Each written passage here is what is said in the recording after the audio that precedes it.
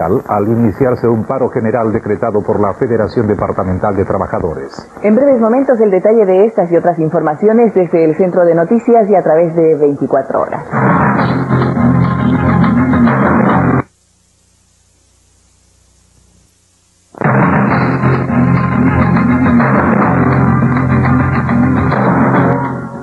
Después de un diálogo de cerca de nueve horas con los dirigentes del SUTEP, que terminó a las dos de la madrugada de hoy, el presidente del Consejo de Ministros, Sandro Mariategui, solucionó la huelga magisterial. Al respecto, la oficina del primer ministro emitió hoy el siguiente comunicado oficial. Se pone en conocimiento de la opinión pública que el conflicto magisterial ha llegado a solución en los siguientes términos. Primero, el SUTEP levantó la huelga general indefinida decretada desde el 4 de junio. Segundo, el Sindicato Único de Trabajadores de la Educación Peruana, SUTEP, ha sido inscrito en el Instituto Nacional de Administración Pública previo cambio de su denominación a la de Sindicato Unitario de Trabajadores de la Educación Peruana, cuya sigla es también SUTEP y de acuerdo a ley. Tercero, se otorga a los docentes a partir del mes de julio del presente año 100.000 soles mensuales bajo la forma de remuneraciones especiales de trabajo altamente especializado, condiciones de trabajo de hasta el 25% y 15% respectivamente, y una asignación por preparación y evaluación de clases hasta completar la suma antes mencionada. Todo ello previa financiación de un ingreso presupuestal permanente derivado de la tributación a expedirse en uso de las facultades legislativas otorgadas al Poder Ejecutivo por el Congreso de la República. Cuarto, los aspectos administrativos de competencia del Ministerio de Educación se solucionarán mediante negociaciones. Quinto, el gobierno confía que con la solución del conflicto magisterial se normalizarán las actividades escolares, para cuyo efecto adoptarán las medidas convenientes a fin de recuperar los siete días de clases perdidos. Lima 12 de junio de 1984, Sandro María Teguiquiape, presidente del Consejo de Ministros. Posteriormente, luego de una asamblea en la que fueron aprobados los puntos acordados, el secretario general del SUTEP, Carlos Salazar Pasache, informó que habían decidido terminar la paralización y que de inmediato los maestros se reintegraran a sus labores. La Asamblea Nacional de Delegados nos ha facultado para decretar el reinicio de las clases a partir del día de hoy. Eh, este reinicio de las clases eh, estaba condicionado a la entrega de la resolución de reconocimiento del SUTEP. El Premier Sandro Mariatti que nos ha hecho entrega de la resolución directoral número 01184, por el cual se inscribe en el registro de sindicatos de servidores públicos al Sindicato de Trabajadores en la Educación del Perú. Y por otro lado, aquí tenemos también un comunicado firmado por el Premier Sandro Mariatti, a través del cual se nos otorga un aumento de 100 mil soles.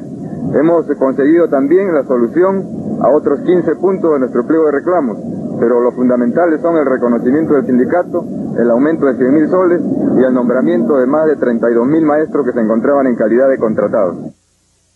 En cuanto a la paralización de los trabajadores del sector público, especialmente de los que prestan servicio en la recaudación de rentas públicas, se informó hoy que el próximo viernes, durante el Consejo de Ministros, se aprobará un decreto supremo que contempla drásticas sanciones contra los huelguistas. La agencia oficial andina señaló que entre ellas figura la que ordena pasar a disposición del INAF a los huelguistas mientras se decida su situación en el juicio administrativo correspondiente. Este proyecto se basa en la Constitución que señala que el presidente puede dictar medidas extraordinarias en materia económica y financiera cuando así lo requiere el interés nacional y con cargo de dar cuenta al Congreso. Entre tanto, piquetes de huelguistas del sector público realizaron hoy varias marchas callejeras y manifestaciones reclamando solución a sus demandas.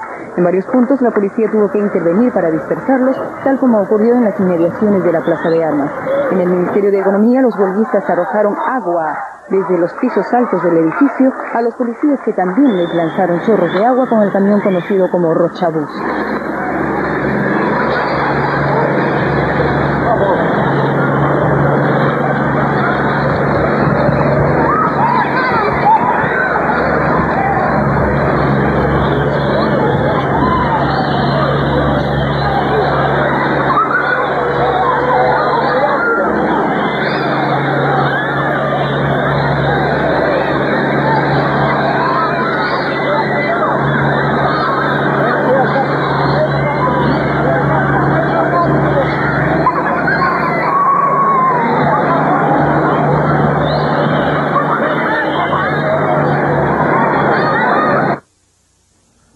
Esta noche el presidente Belaunde hizo un llamado a los huelguistas del sector público para que depongan su actitud y eviten ser objeto de las sanciones que se aprobarán el próximo viernes.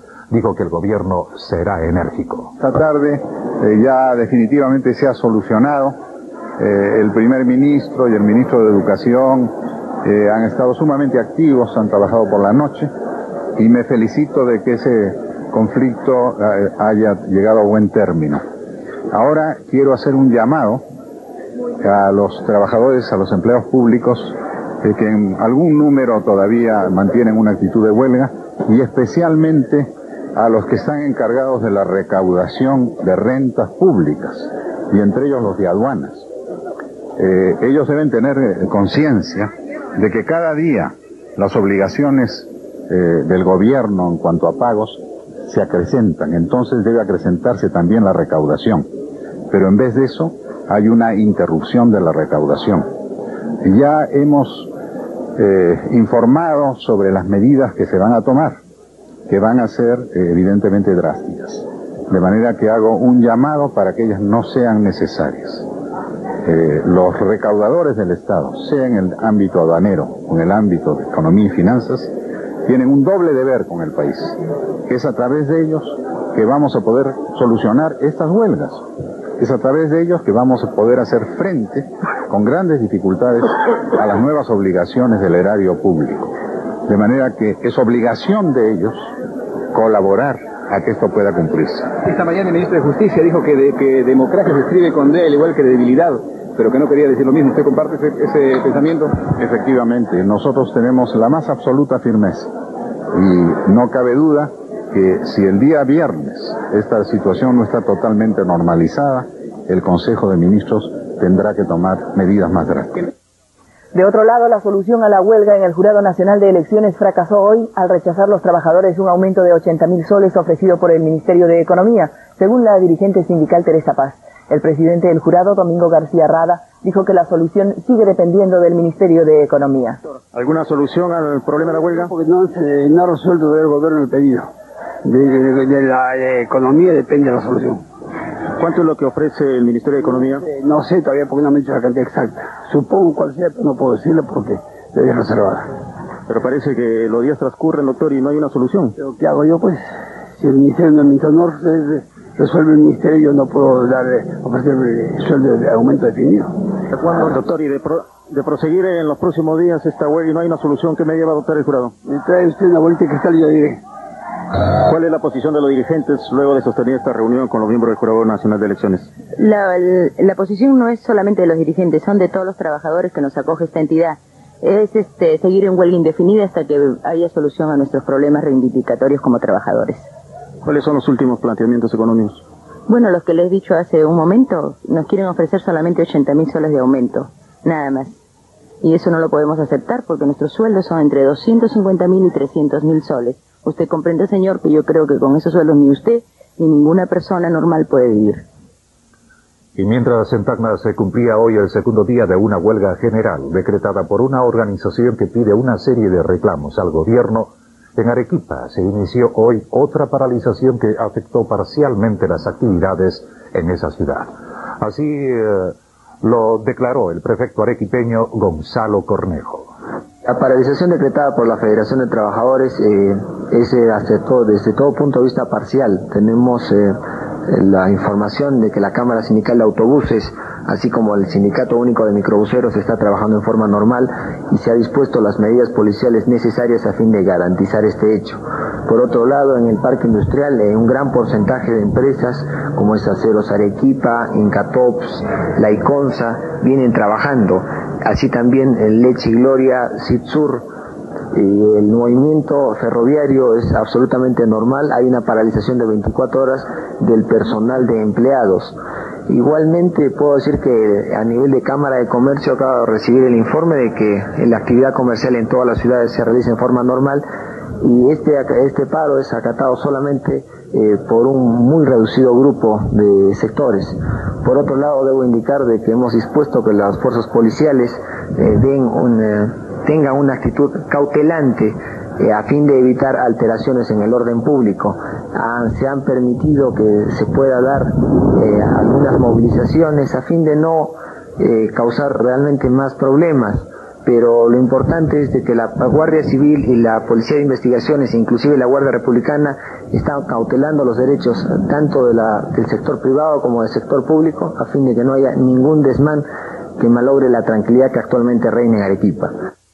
Una comisión especial de la Dirección de Penales viajó hoy a Chimbote para investigar los detalles de la fuga de 11 delincuentes de alta peligrosidad ocurrida en la mañana de ayer. El ministro de Justicia, Max Arias Schreiber, dijo que la fuga se debió a las serias deficiencias del sistema carcelario. El país sufre de una crisis dentro del sistema penitenciario. Los locales no son suficientemente seguros. Se están haciendo toda clase de esfuerzos para eh, readaptarlos, pero naturalmente esos esfuerzos no son suficientes. Evidentemente que se producen fugas y se van a seguir produciendo. Pero he dicho muchas veces que esto no solamente se presenta en el Perú, en otras partes del mundo y aún en las cárceles más seguras también hay fugas.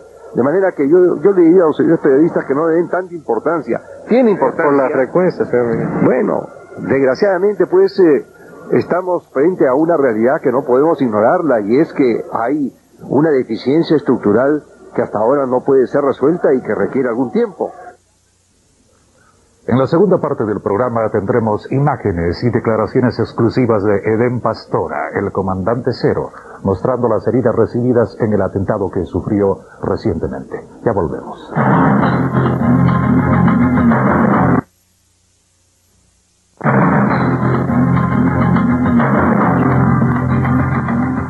Fondo Monetario Internacional trata hoy de evitar una confrontación con la Argentina que pudiera crear una sacudida bancaria o sentar precedentes capaces de alterar el papel del fondo en la administración de las finanzas mundiales. Funcionarios del Fondo Monetario guardaron silencio sobre la carta en que Argentina señala la estrategia que está dispuesta a seguir en lugar del severo programa de austeridad que recomienda el secretario de la entidad como precio para su cooperación en el reordenamiento de la deuda externa argentina, estimada en 46.500 millones de dólares.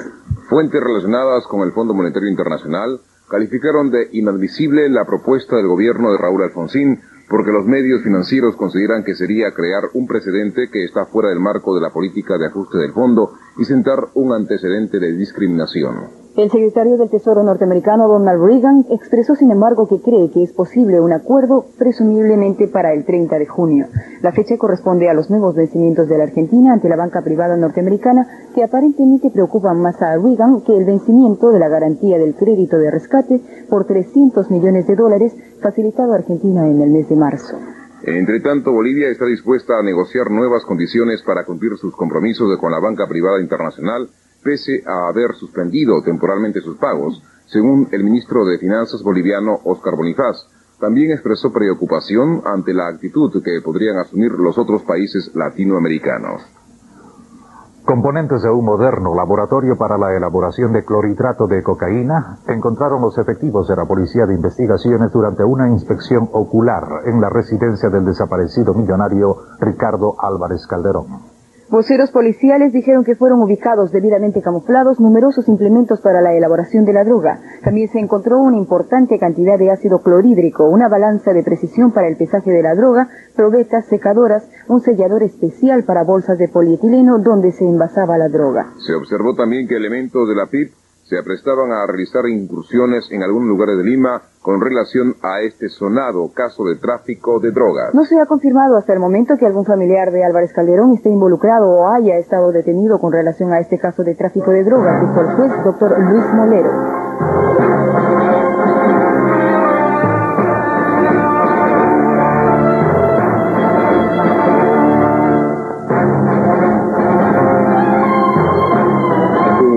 El análisis que ha realizado el treceavo juzgado de instrucción en el caso de Ricardo Álvarez Calderón hasta el momento. La intervención del juzgado en las diligencias preliminares comienzan a petición escrita del Departamento de Homicidios porque pone a mi conocimiento sobre la muerte accidental de Ricardo Álvarez Calderón. Por lo demás, se ha puesto a disposición del Departamento de Homicidio y de Narcóticos para su investigación. ¿Se encontró droga también, señor Sí se encontró droga. ¿Y qué es lo que está esperando el preciado juzgado para iniciar el proceso?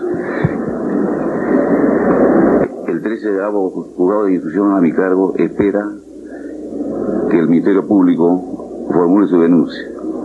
Un segundo periodista no identificado ha sido vinculado al atentado contra el líder rebelde nicaragüense Eden Pastora, según un vocero de la oficina que conduce la investigación en Costa Rica. El principal sospechoso sigue siendo un individuo que portaba el pasaporte a nombre de Hank Hansen, quien abandonó Costa Rica un día después del atentado. Ayer Pastora ofreció una conferencia de prensa en la Clínica Metropolitana de Caracas, donde se recupera de las heridas sufridas en dicho atentado. Allí dijo que está dispuesto a abandonar la lucha si Nicaragua se democratiza. Aquí las declaraciones de Pastora mostrando en el rostro las cicatrices de las lesiones. Hubiera preferido ser la única víctima antes que hubieran sido estas inocentes eh, compañeros periodistas costarricenses y norteamericanos, vivamente. Si no queda otra alternativa, regreso a la montaña. Pero, pero, si hay un proyecto para democratizar la oposición y que esta democratización de la oposición garantice la democratización del gobierno en Nicaragua, yo paro la guerra. O, sea, pues paro lo que está de mi parte. Un guardia republicano murió accidentalmente hoy al disparársele el arma que manipulaba. El accidente ocurrió en el puente de Chajo, a 14 kilómetros de la carretera Aguanta, según informa nuestro corresponsal Mario Cueto Cárdenas. Centro Noticias. En esta zona las fuerzas policiales continuaban con el santo sobre las espaldas. Anoche en la localidad de Chajo, a 14 kilómetros de la carretera hacia Aguanta, un guardia republicano que prestaba servicios en el destacamento del puente Chajo pereció al recibir un impacto de bala cuando al parecer maniobraba su arma. Sus restos fueron trasladados esta mañana a la capital de la República en un vuelo comercial. La jefatura de la Guardia Republicana y el comando guardaron absoluto hermetismo. Mientras tanto, esta noche en el Paraninfo de la Universidad Nacional de San Cristóbal de Huamanga, los miembros de la Asamblea Universitaria eligieron a las nuevas autoridades de la tricentenaria Casa de Estudios, en cumplimiento de la ley de bases del sistema de la Peruana y de los estatutos internos. Fue ungido como rector el ingeniero agrónomo José Castañera Bazán, con 28 de los 50 votos de los asambleístas, de los cuales 33 docentes y 17 estudiantes. Informó Mario Cueto Cárdenas, Centro Noticias. Inmediatamente tenemos una síntesis del panorama internacional. Estados Unidos reconoció hoy que las importaciones acereras han dañado seriamente su producción nacional, por lo que hoy trascendió en Washington que el gobierno adoptaría medidas proteccionistas contra la importación de acero de otros países. Un exmiembro de la Junta Militar chilena, Gustavo Lee, general de aviación en retiro, afirmó que el presidente Pinochet es de una ambición ilimitada y que no aceptará un retorno a la democracia. Sin embargo, dijo que no llegará hasta 1989. En La Habana, Cuba, ocho de los 16 asilados en la Embajada de Venezuela desde hace cinco años abandonaron voluntariamente la sede diplomática. Ello es el resultado de nueve meses de intensas negociaciones entre ambos países. Los líderes de las naciones socialistas iniciaron hoy en Moscú una conferencia cumbre económica cuyo tema principal se centrará en el desarrollo de una tecnología moderna para liberarse de su dependencia de Occidente. Centenares de delegados boicotearon el discurso del presidente de Costa Rica, Luis Alberto Monge, en la conferencia de la Organización Internacional de Trabajo en Ginebra por su decisión de trasladar su embajada de Israel a Jerusalén. El director del diario El Comercio, Alejandro Miroquesada, dijo hoy en Ginebra que la creación de una agencia informativa en América Latina, con ayuda de la UNESCO, atenta contra la libertad de expresión, soporte de nuestro sistema democrático. La prueba exitosa de un misil antimisil en Estados Unidos provocó la reacción de Moscú, que afirmó que a pesar de todo es imposible que Estados Unidos obtenga superioridad militar sobre la Unión Soviética. Fueron reajustados hoy los precios de venta de la leche descremada en polvo importada y la grasa anhidra de leche importada. Aquí un informe al respecto. La leche descremada en polvo importada, lo mismo que la grasa anhidra de leche importada, sufrieron un reajuste en sus precios de venta a partir de hoy. Por resolución ministerial se autoriza a ENSI, Empresa Nacional de Comercialización de Insumos, a incrementar el precio de los insumos lácteos importados de acuerdo al reajuste de precios efectuado en coordinación correspondiente con el Ministerio de Agricultura. Pero hoy todavía hemos encontrado que la bolsita de leche Ensi, en polvo, con un contenido neto aproximado a 110 gramos que equivale a un litro de leche, conserva su precio de 500 soles. Hoy 12 de junio de 1984 la cotización del dólar fue la siguiente. Compra 3.211 soles 56 centavos. Venta 3.227 soles 62 centavos. En ambos casos sube 7.20 desde ayer. Tenemos la cotización del dólar certificado. Compra 3.243 soles, sube 3. Venta 3.365 soles, sube 4. El Papa llegó hoy a Suiza para una visita pastoral de seis días. Retornamos con la noticia en un momento.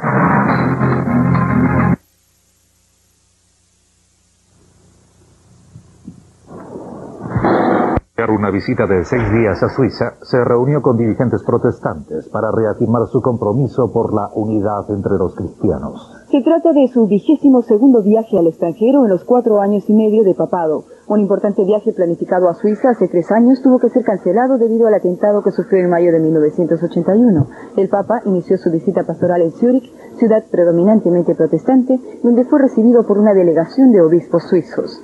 Después de la ceremonia de bienvenida, el Papa se dirigió en avión a Lugano, localidad mayoritariamente católica, donde celebró una misa al aire libre ante una multitud de 25.000 personas en un estadio local. En todos los lugares se observó estrictas medidas de seguridad. Más tarde, el Santo Padre viajó a Ginebra, en donde se presentó ante el Consejo Mundial de las Iglesias con una enérgica defensa de la autoridad papal. Ante los representantes de 301 comunidades ortodoxas, anglicanas, protestantes y otras, el Papa admitió la existencia de diferencias frecuentes entre católicos y protestantes, pero reiteró que el empeño de la Iglesia Católica es el movimiento ecuménico y es irreversible.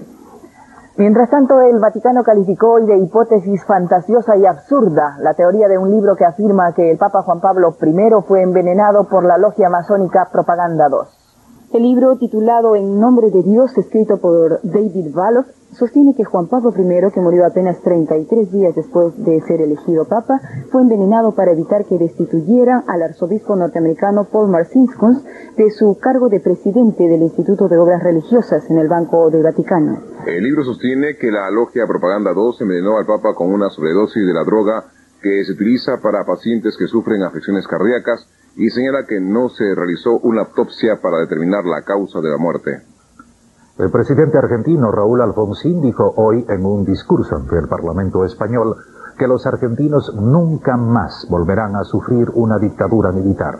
Alfonsín se refirió al Estado de Derecho que hoy rige en Argentina y defendió el empleo de la prudencia política al enjuiciar a los responsables de los abusos ocurridos en su país en los últimos años. El presidente argentino acusó indirectamente a Estados Unidos y la Unión Soviética por intervenir en Centroamérica y dijo que Argentina está firmemente colocada entre los países no alineados. Alfonsín se reunió con el primer ministro Felipe González y calificó su conversación de extraordinariamente buena.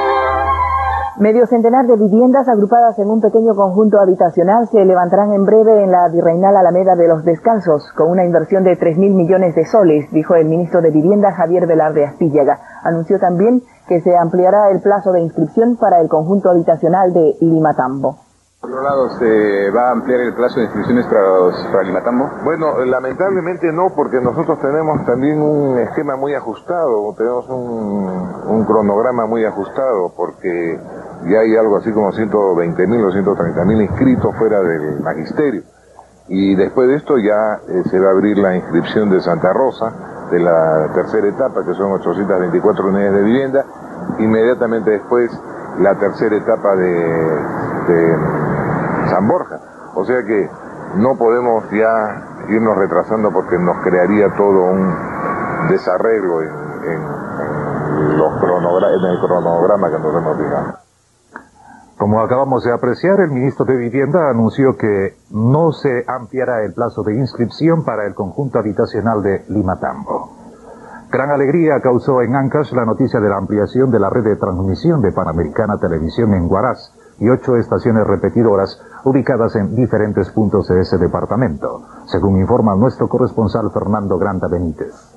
Para el Centro de Noticias informa Fernando Granda Benítez, gran algarabía causado en los pobladores del departamento de Ancash con motivo de haberse ampliado a Panamericana Televisión con una estación retransmisora en Huaraz y ocho estaciones repetidoras ubicadas en las provincias de Carguás, Caraz, Corongo, Siguas, Pomabamba, Casma, San Jacinto y Rumicruz, mediante resolución suprema número 05984 de fecha 8 de junio, refrendada por el presidente de la República, ministro de Transportes y Comunicaciones y el jefe del Sistema Nacional.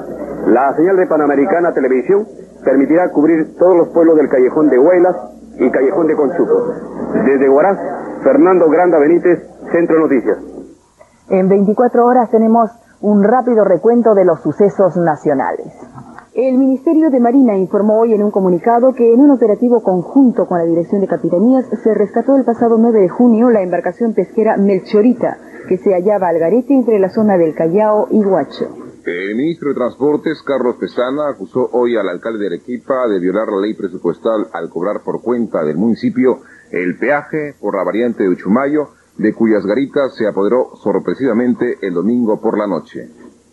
Hoy quedó instalada una comisión mixta integrada por autoridades y trabajadores del Ministerio de Salud que elaborará el mecanismo para aplicar la nueva escala de sueldos aprobada por el portafolio que va de 300 mil soles como mínimo a 720 mil como máximo. El presidente del Banco Industrial del Perú, Alberto Conroy Mena, aseguró que en los últimos cuatro años esa entidad bancaria ha posibilitado la creación de 180 mil puestos de trabajo merced a su amplio apoyo a la pequeña y mediana empresa.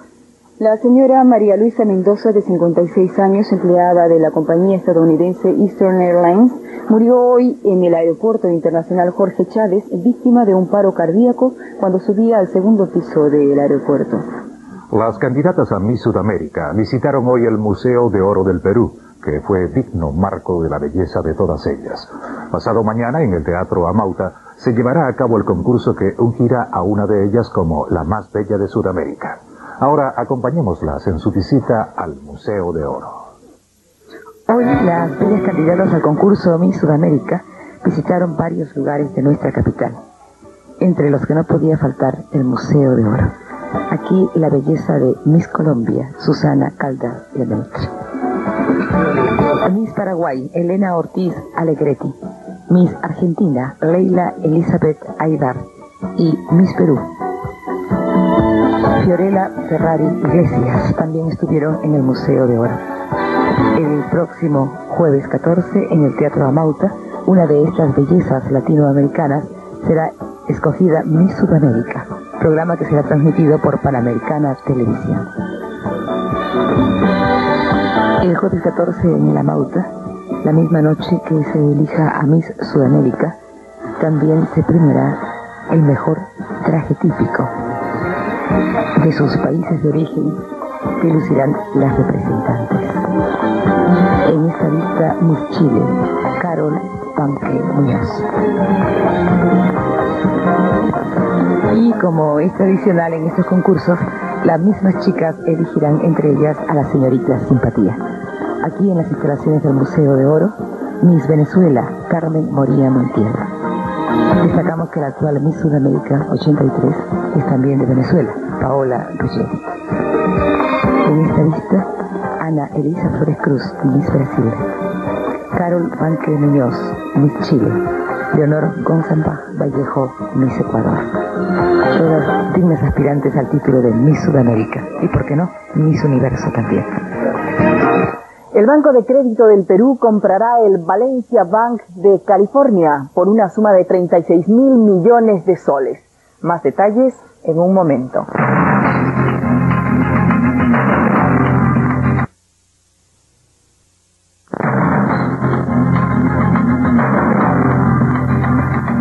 El vicepresidente ejecutivo del Banco de Crédito del Perú, Juan Francisco Raffo, confirmó hoy que esta entidad comprará el Valencia Bank con sede en el condado de Orange, en California, cuyos accionistas han aprobado la operación.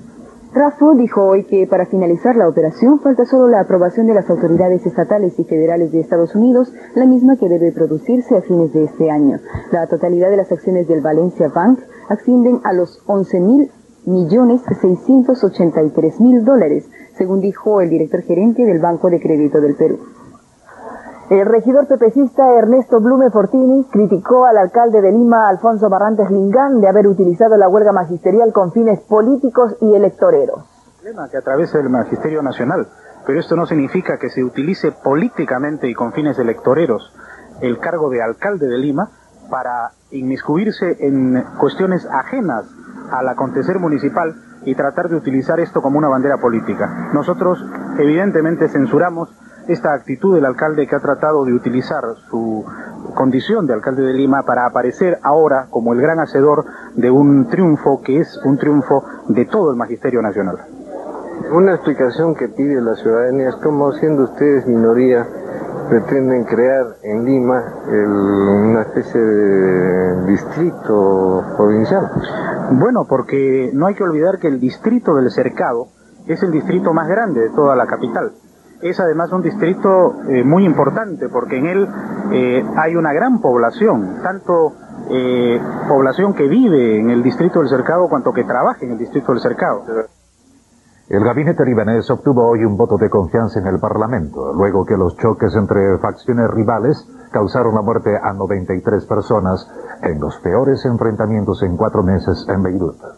Las facciones cristianas y musulmanas se acusaron mutuamente de haber iniciado los choques con la esperanza de influir en el resultado de la votación. En los combates, otras 328 personas resultaron heridas al ser alcanzadas por el fuego de artillería. El Parlamento de Líbano concedió poderes especiales al gabinete del primer ministro Rashid Karami, mediante los cuales podrá gobernar por decreto durante nueve meses. Karami expresó que esta es la última oportunidad para poner fin a la guerra civil. Una antigüedad de 200 años tienen las acuarelas de la colección Martínez Campañón que recientemente fueron recuperadas por el Banco Continental en una subasta en Estados Unidos y hoy fueron mostradas al periodismo. Estas eh, pinturas eh, fueron hechas por encargo por el obispo Martínez de Compañón, quien recorrió su diócesis, la diócesis de Trujillo, la recorrió entre 1794 y 1798 la diócesis de Trujillo abarcaba en esa época por el norte desde Tumbes, por el sur hasta Huaraz y por la sierra abarcaba Cajamarca, eh, Chachapoyas y parte de la selva Tarapoto. Por eso que se ven aquí aves de la costa, aves de la sierra y aves de la selva. ¿En qué circunstancias estuvo conocimiento de estas acuarelas? La existencia histórica de ellas ya ha sido conocida, pero de estos dos álbumes, eh, a raíz de un cable de, internacional, el diario El Comercio dio el aviso de que estaban en subasta. Y inmediatamente se originó una corriente de opinión pública, tanto en Lima como en Trujillo, a las cuales el Banco Continental se unió a ellas y eh, dio instrucciones a un banco corresponsal para que participara un funcionario peruano de ese banco en la subasta como si fuera una persona natural, independiente, que quería adquirirlas para él, estas obras de arte. Un gran número de delegaciones extranjeras asistirá mañana a los funerales del secretario del Partido Comunista Italiano, Enrico Berlinguer, mientras continuaba el desfile incesante ante el féretro del político. Berlinguer murió ayer en Padua a la edad de 62 años cuatro días después de sufrir un ataque de apoplejía. Su cuerpo fue colocado en un catafalco rodeado de flores y escoltado por funcionarios del Partido Comunista Italiano. Una hora más tarde, miles de personas formaron una larga fila para rendir su último homenaje al líder desaparecido. Trenes especiales y autobuses trasladarán a Roma a personas de diversas ciudades italianas que deseen estar presentes en el entierro de Berlinger en el cementerio de verano. El senador populista por el Callao Jaime Chenefus aseguró hoy que en la próxima legislatura se promulgará la ley del canon portuario que permitirá recibir a la provincia constitucional ingresos por 55 mil millones de soles anuales. El parlamentario señaló que dichas rentas estarían constituidas por el 10% de los ingresos de aduana por exportaciones e importaciones y cuya administración correspondería a la Corporación de Desarrollo del Callao y al Consejo Provincial. Jaime Chenefuse dijo que las nuevas rentas permitirán ejecutar las importantes obras cuyos estudios ya están listos. Agregó que esperaba que la ley sea promulgada por el presidente el 20 de agosto, día de la provincia constitucional del Callao. La preselección nacional de fútbol reinició hoy sus entrenamientos con miras al encuentro que sostendrá este jueves en el Estadio Nacional frente al equipo de Argentinos Juniors. El entrenamiento de hoy se realizó esta tarde en la cancha auxiliar del estadio de Alianza Lima. Duró poco menos de una hora y media. Asistieron casi todos los jugadores convocados, con excepción de José Velázquez, quien se encuentra lesionado, al igual que Casanova, según El se entrenador Moisés Barak tiene previsto delinear mañana el equipo que saldrá a la cancha a jugar con el cuadro argentino. Es posible que en el equipo nacional esté jugando el internacional Jerónimo Patrulla Barbadillo.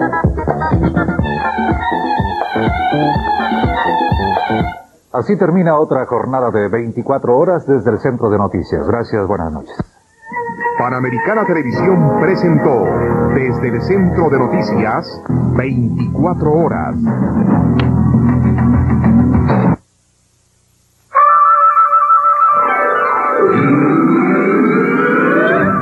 En todo el Perú, simultáneamente, Panamericana Televisión.